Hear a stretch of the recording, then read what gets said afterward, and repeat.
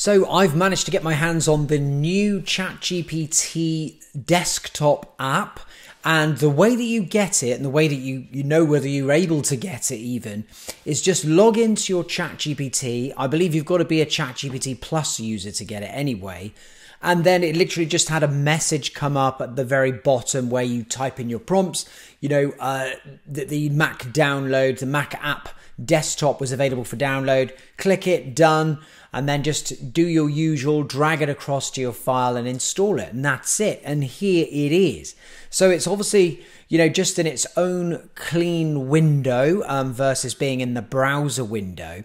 And I actually just asked the uh, ChatGPT exactly what is the benefit here. So let me just zoom in if I can. Oh, I can't zoom in on this. So I'm just going to, um, I'll you'll zoom in afterwards with the editing. Um, basically, the new Mac version uh, is giving you a more seamless integration, uh, accessibility, so you don't need a web browser. Now, offline access, now that's interesting. It didn't really tell us much about what it can do offline, but I suspect that they're, um, they're going to be giving us some ability uh, to do things offline. And then notifications, so obviously it can tell you anything that's important that's going on. And then a user friendly interface. And it really is super similar to the uh, web version. So I'm not going to say at this point that you're really missing out on anything by not having it if you don't. There's your little side panel. You've got a search up there so you can search through your chats. Then down the bottom left, you've got your usual kind of settings and everything just there. You can choose the shortcut that you might want for like the launcher. So uh, if you want to use, I think it's space and option at the moment. The option key, yep, and then that will just launch it straight away. And then you can keep it on top as well um, just by uh, selecting that little radio button there haptic feedback. I don't know you know really why you would have that obviously on on your own uh, on your desktop computer but there you go. And then uh, data controls uh, archive chat and then the usual stuff like in terms of customizing it specifically for your use.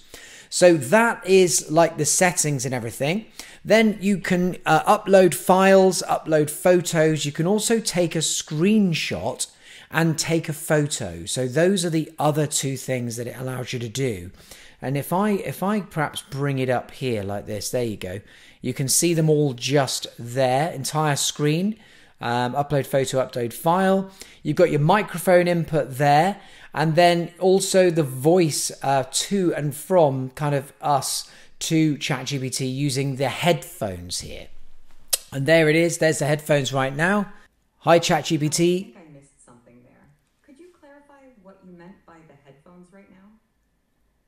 Um, we were just doing a video actually. In fact, we're in the middle of a YouTube video, ChatGPT. Would you like to contribute anything? We're explaining how the Mac uh, desktop app ChatGPT works.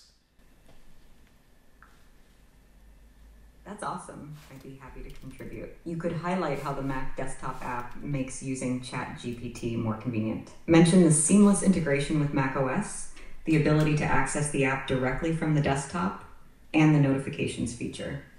This could emphasize how it's designed to improve user experience and productivity. Okay, then, thanks very much. That'll be it for now. By the way, if you're into ChatGPT and you're interested, then join my group. It's completely free, and there's now 10,000 plus members.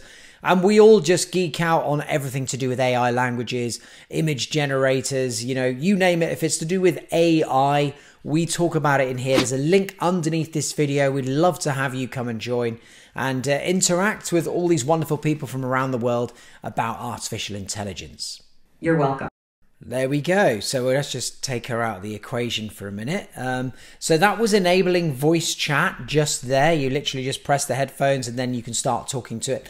It isn't yet like. Um, like it is in the the demonstrations from OpenAI where you can just talk freely back and forward super fast.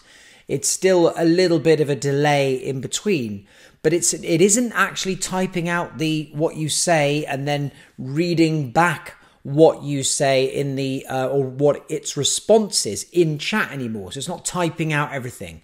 The typing is gone if you now use that but it's definitely not quite as quick as you know we've seen in the demos. So whether that's the final version and everything, I don't know. But you can also choose your models up here like this, and then you can also access the uh, the GPT store just there, and then um, your temporary chat just at the bottom. So yeah, it's it's pretty smooth, pretty easy to use, and so far so good. So I look forward to you know seeing how people you know start to use this and really build it into their daily workflow. The other thing you can do as well is if you want to, you can literally kind of drag files over uh, like this and, um, you know, obviously talk about things to do with that file or image. So I'll just ask this a quick question. Um, do you recognize the person in this photo? I've got a feeling it won't do it because, yeah, there you go. Hang on. I don't have the capability to recognize individuals in images. That's right. It doesn't like to do that. I expect that's something to do with privacy rules and so on. So, um, but it, yeah, anything you drag into this window, you can interact with as normal. And I think it's going to be a really useful addition to anyone who's got a Mac. And I'm really pleased that it's come out on the Mac first as well, because usually it's us who have to wait for Windows people. All right, that's it for this very quick video. I Hope you liked it, and I hope you managed to get your hands on the uh, ChatGPT Mac desktop app very soon. And there's another video coming in a second. Thanks for watching.